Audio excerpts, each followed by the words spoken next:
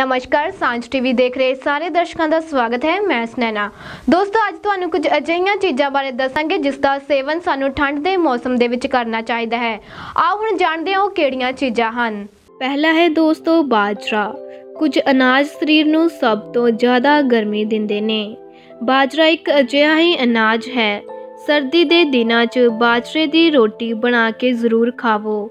ਛੋਟੇ ਬੱਚਿਆਂ ਨੂੰ ਬਾਜਰੇ ਦੀ ਰੋਟੀ ਜ਼ਰੂਰ ਖਿਲਾਉਣੀ ਚਾਹੀਦੀ ਹੈ। ਇਸ ਵਿੱਚ ਕਈ ਸਵਸਥ ਗੁਣ ਹੁੰਦੇ ਨੇ। ਬਾਜਰੇ ਦੇ ਵਿੱਚ ਸਭ ਤੋਂ ਜ਼ਿਆਦਾ ਪ੍ਰੋਟੀਨ ਦੀ ਮਾਤਰਾ ਪਾਈ ਜਾਂਦੀ ਹੈ। ਬਾਜਰੇ ਦੇ ਵਿੱਚ magnesium, calcium, manganese, fibre, vitamin B, antioxidant ਆਦਿ ਤੱਤ ਭਰਪੂਰ ਮਾਤਰਾ ਵਿੱਚ ਪਾਏ ਜਾਂਦੇ ਹਨ। ਦੂਸਰਾ ਹੈ ਦੋਸਤੋ ਬਦਾਮ।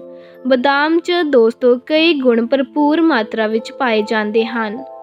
ਇਸ ਦਾ ਨਿਯਮਤ ਸੇਵਨ ਅਨੇਕ ਬਿਮਾਰੀਆਂ ਤੋਂ ਬਚਾਉਂਦਾ ਹੈ। ਅਕਸਰ ਮੰਨਿਆ ਜਾਂਦਾ ਹੈ ਕਿ ਬਦਾਮ ਖਾਣ ਦੇ ਨਾਲ ਯਾਦਾਸ਼ਤ ਵੱਧਦੀ ਹੈ, ਲੇਕਿਨ ਇਹ ਡਰਾਈ ਫਰੂਟ ਅਨੇਕਾਂ ਰੋਗਾਂ ਤੋਂ ਸਾਡੀ ਰੱਖਿਆ ਕਰਦੇ ਹਨ। ਇਸ ਦੇ ਸੇਵਨ ਦੇ ਨਾਲ ਕਬਜ਼ ਦੀ ਬਿਮਾਰੀ ਦੂਰ ਹੁੰਦੀ ਹੈ, ਜੋ ਸਰਦੀਆਂ ਦੇ ਵਿੱਚ ਇੱਕ ਆਮ ਦਿੱਕਤ ਹੁੰਦੀ ਹੈ। ਬਦਾਮ ਦੇ ਵਿੱਚ ਡਾਇਬਟਿਸ ਨੂੰ ਨਿਯੰਤਰਣ ਕਰਨ ਦੇ ਗੁਣ ਪਾਏ ਜਾਂਦੇ ਹਨ। ਇਸ 'ਚ ਵਿਟਾਮਿਨ ਈ ਭਰਪੂਰ ਮਾਤਰਾ ਵਿੱਚ ਪਾਇਆ ਜਾਂਦਾ ਹੈ। ਤੀਸਰਾ ਹੈ ਦੋਸਤੋ ਅਦਰਕ। ਅਦਰਕ ਅਗਰ ਰੋਜ਼ਾਨਾ ਤੁਸੀਂ ਆਪਣੇ ਭੋਜਨ 'ਚ ਛੋਟੀ ਮਾਤਰਾ 'ਚ ਸ਼ਾਮਿਲ ਕਰਦੇ ਹੋ, ਤਾਂ ਇਹ ਕਈ ਬਿਮਾਰੀਆਂ ਤੋਂ ਸਾਨੂੰ ਬਚਾਉਂਦਾ ਹੈ। ਸਰਦੀਆਂ 'ਚ ਇਸ ਦਾ ਸੇਵਨ ਕਿਸੇ ਵੀ ਰੂਪ 'ਚ ਜ਼ਰੂਰ ਕਰਨਾ ਚਾਹੀਦਾ ਹੈ। ਇਸ ਦੇ ਨਾਲ ਸਰੀਰ ਨੂੰ ਗਰਮੀ ਮਿਲਦੀ ਹੈ ਅਤੇ ਡਾਈਜੈਸਟ ਸਿਸਟਮ ਸਾਡਾ ਮਜ਼ਬੂਤ ਕਰਦਾ ਹੈ। ਚੌਥਾ ਹੈ ਦੋਸਤੋ ਸ਼ਹਿਦ। ਸਰੀਰ ਨੂੰ ਸਵਸਥ, ਨਿਰੋਗ ਅਤੇ ਊਰਜਾਵਾਨ ਬਣਾਏ ਰੱਖਣ ਦੇ ਲਈ ਸ਼ਹਿਦ ਨੂੰ ਆਯੁਰਵੇਦ 'ਚ ਅੰਮ੍ਰਿਤ ਵੀ ਕਿਹਾ ਜਾਂਦਾ ਹੈ। ਵੈਸੇ ਤਾਂ ਸਾਰੇ ਮੌਸਮਾਂ 'ਚ ਸ਼ਹਿਦ ਦਾ ਸੇਵਨ ਲਾਭਕਾਰੀ ਹੁੰਦਾ ਹੈ, ਲੇਕਿਨ ਸਰਦੀਆਂ ਦੇ ਵਿੱਚ ਸ਼ਹਿਦ ਦਾ ਉਪਯੋਗ ਵਿਸ਼ੇਸ਼ ਫਾਇਦੇਮੰਦ ਹੁੰਦਾ ਹੈ। ਇਹਨਾਂ ਦਿਨਾਂ ਵਿੱਚ ਆਪਣੇ ਭੋਜਨ ਵਿੱਚ ਸ਼ਹਿਦ ਨੂੰ ਜ਼ਰੂਰ ਸ਼ਾਮਿਲ ਕਰਨਾ ਚਾਹੀਦਾ ਹੈ। ਇਹ ਸਾਡੀ ਪਾਚਨ ਕਿਰਿਆ ਵਿੱਚ ਵੀ ਸੁਧਾਰ ਕਰਦਾ ਹੈ। ਪੰਜਵਾਂ ਹੈ ਦੋਸਤੋ, ਰਸੀਲੇ ਫਲ ਦਾ ਸੇਵਨ ਬਿਲਕੁਲ ਨਾ ਕਰੋ। ਸਰਦੀਆਂ ਦੇ ਮੌਸਮ 'ਚ ਰਸਦਾਰ ਫਲਾਂ ਦਾ ਸੇਵਨ ਨਹੀਂ ਕਰਨਾ ਚਾਹੀਦਾ।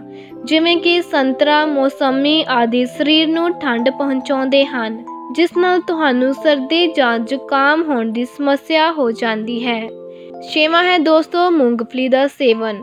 100 ਗ੍ਰਾਮ ਮੂੰਗਫਲੀ 'ਚ 25 ਗ੍ਰਾਮ ਪ੍ਰੋਟੀਨ 3 ਗ੍ਰਾਮ ਨਮੀ 40 gram fat 2.5 mineral 3 gram fibre 26 gram carbohydrates ਅਤੇ ਹੋਰ ਅਨੇਕ ਤੱਤ ਪਾਏ ਜਾਂਦੇ ਹਨ, ਜੋ ਕਿ ਸਾਡੇ ਸਰੀਰ ਲਈ ਬਹੁਤ ਹੀ ਫਾਇਦੇਮੰਦ ਹੁੰਦੇ ਹਨ।